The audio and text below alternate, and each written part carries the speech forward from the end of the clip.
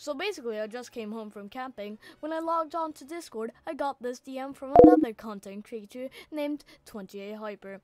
It was an invite to Discord server called Hyper SMP Chapter 2. Now, I don't know what Hyper SMP Chapter 1 was, but I want to join. Because lore equals poggers. I want to join Hyper SMP because lore means I can say, me cool guy. Okay. I want to meet new people as well talking to Hyper again. I can provide a lot of content for other people as well me. If the server doesn't die, I will be active. And me, myself and I, all like me. So if you don't like me, you're a bit weird. So like me to be cool.